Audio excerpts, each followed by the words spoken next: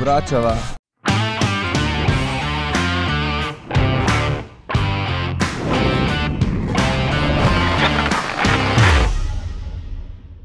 Živijo, evo, tokrat se pa javljam iz, oziroma javljava iz Triglavskih jezer. Pot je nezgažena, tako da smo naredila gas, šla sva gor. Ha? Zdaj je. No, zdaj je, ja. Rabila sva eno uro, da smo naredila 600 višincev čez Komarče gor. Pa sva pa rabila še 3 ure, da smo naredila še 800, ja, 700, še 700 višincev, pol sva rabila 3 ure. Malo na celc napad. Ja, malo na celc napadel, tako da je kar razlika, no, a gaziš ali hodiš. Ne. Prispela sva do a, prvega jezera, Črno jezero. Probala sva malo gor hoditi, ampak um, je pol neki fajn počel pod nogami in sva se hitro obrnila, tako da pičemo naprej do jezera, a, do koče na jezeri. Ha? Rep pod noge. Rep pod noge. noge. To je to. Ok, te stopinje grejo nazaj. Ja, mora pa tja dol. Tako da, evo, tle se zaključi. To je pa Gas. fan, fan, fan, fan. Je pa fan, fan, ja. Oh, ok, pojmo gaziti. Zdaj smo pa lihkar pri koči na jezerih in tukaj je dvojno jezero. Naslednje je pa potem ledvičko, pa je pa tam še okoli prihodavcev. So kaj, trije. Monde. Mende. Poleče nisem bil nikoli v bistvu um, naprej od, Trigla, mislim, od uh, dvojnega jezera, vedno hodim sam po zimi in pač so tako nori kraji to, pa mir je, žive duše ni. Ne, ne, avtobus ne tam parkira, desno. De, desno, tam je parking za avtobuse. Vzeli nama je eno uro pa 15 minut več, kot je bilo planirano. Probala sva, da bi ujela sončni zahod na prehodavcih, ampak ga imava tukaj. Ni še, bo pa hmal.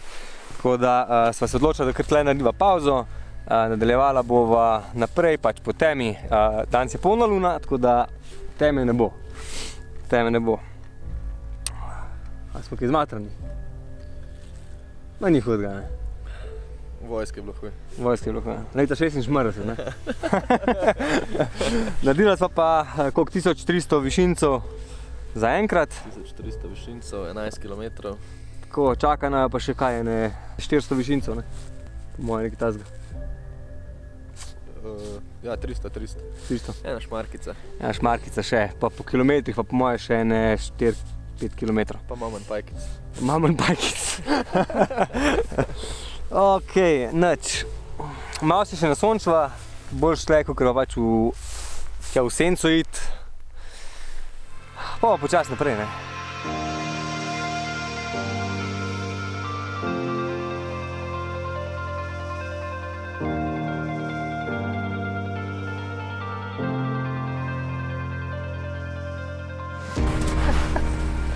Tudi odpadel. Fucking shit, stari. Najdel sem drugi vhod do poslovnske jame. Ja. Zdaj pa ti odpadel. Ajde, Osem ne gre, se to. dvakrat v luknjo. No, poslovnska jama ima tri nove vhode. vhode. Tle naraviš pa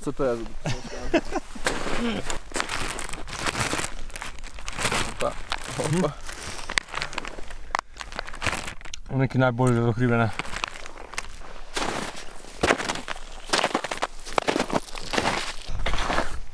Evo nas.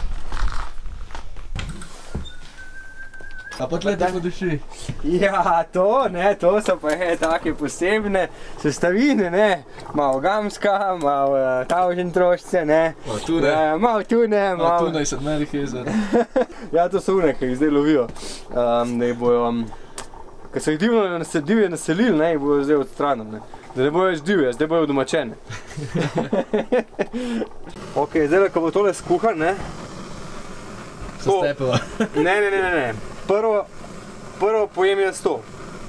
Pol pojeva pa vsak svoj. Sharing is caring. Sam če si lačen, pol. Razen če si Ne, lačen. ne, če si lačen. Tako je jači. No, pa ko je jači, ja. Ti kaj pa jutro pa? Ja.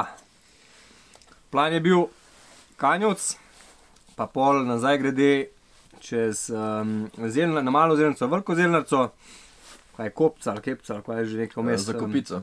za kopico. pol pa velika tičarca, mala tičarca. Um, sam, glede na razmere, ne vem, zdaj eno si moral zbrati, ker res sva se nagazila, da sem prišla do sem. Naredila sva 1871 višincev, spusta pa 455 metrov. Na, zdaj pa tole pojeva, Še eno narediva. še eno narediva, Pa še pojeva. eno narediva. Po moje, ja. Res. Štiri, štiri porcije mava, zdaj se najeva, k. da. Fuck! What the fuck? Oh, zdaj moram pa to prenašati, ne. Ah, lahko noč. Dobro jutro, ura je 4 zjutraj. Je bilo kar um, naporno vstati iz tople spalke. bi še lahko potegnil kakšno urco, dve, 13. 13. Ampak no, moj amran. Uh, čez dve urce, pa pol, tri urce bo vse vredno. Tako da ja, zdaj pa spucati, vse pripraviti za štart in akcijo. Proti zelnarci. Sem se odločil, da gre prvo na malo zelnarco, um, pa pol na veliko. Z male zelnarce se ne vidi sončnega vzhoda, tako da um, gre pol na veliko na sončni vzhod, na malo pa sam lihto, da greva gor. Za kljukco. Za kljukco.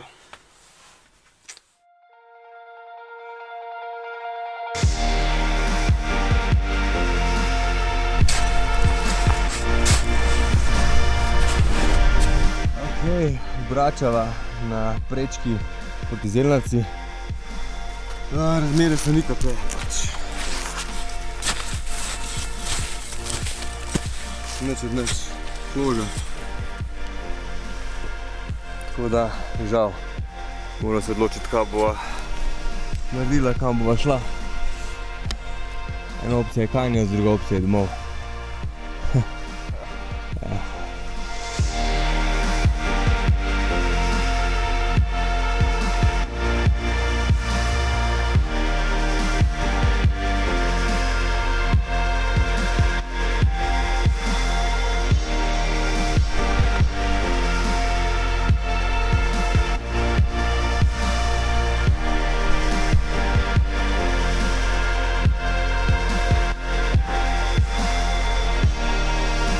Še morje se vidi.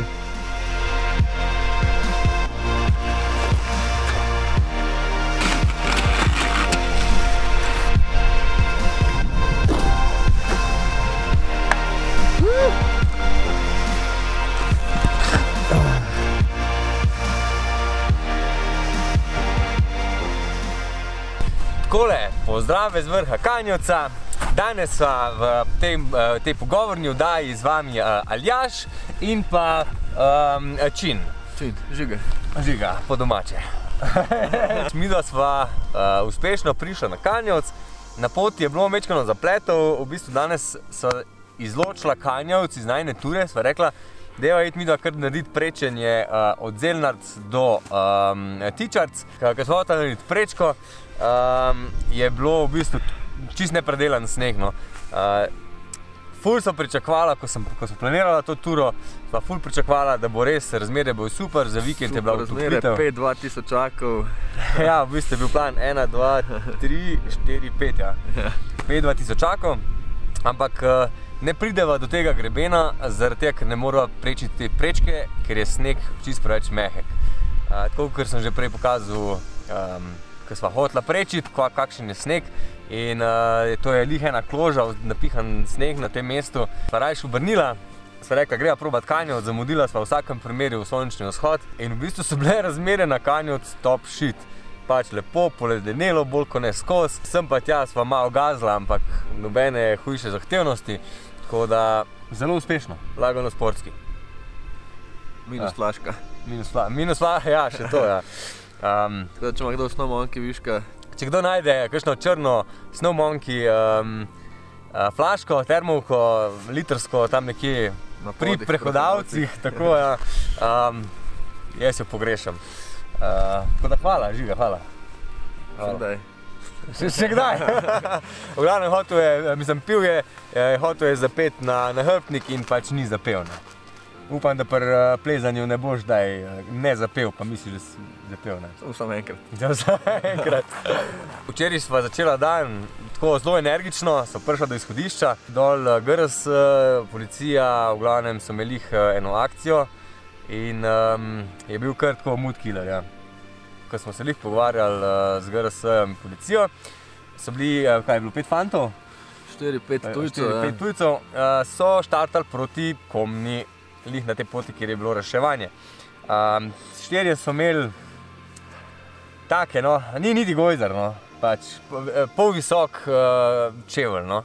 Eden je bil pa v klasičnih Adidaskah. Jaz, oziroma za mesto, jaz imam boljši grip, imam vibram pod plavom. To so bile klasične Adidaske.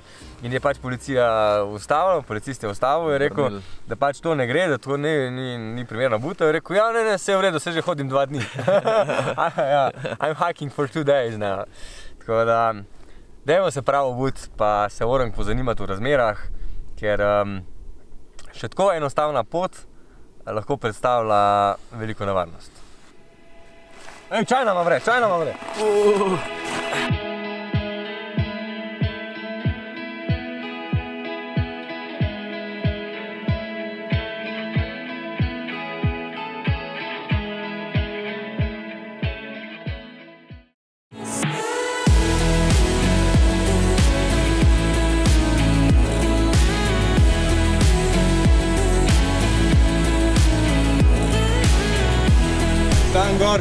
Tabla, tam je eh, moja snowmonkey čitrca odletela in je šla lih tle v mestu. Zdaj smo rekli, gre dol, da je prova najdi. Videla sem nazadnje, da je zavila tam desno.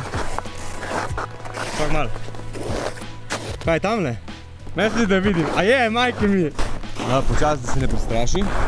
Živijo, vse je okej, okay. mi dva sva. Oho, mirno. Ok, status report. A me zdaj bavaš? Dodana vrednost. Prav nič ni.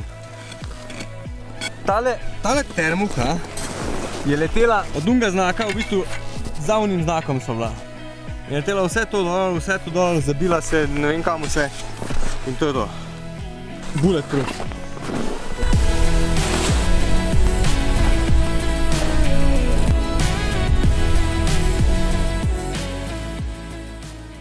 Tu naj še ostala, ne? Tuna, pa Dextro Energy. Oh, da, dekstro bomo pol filala. Tuna, kao, samo tuna jedla. Ko pa Gran Čerale. Gran cereale, piškoti, pa tuna.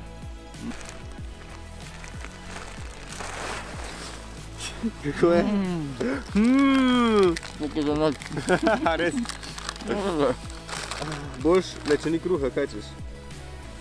Tukaj je rekla tisto, če ni kruha, pa potica jete. V bistvu rekla, če ni kruha, pa Gran Čerale jete.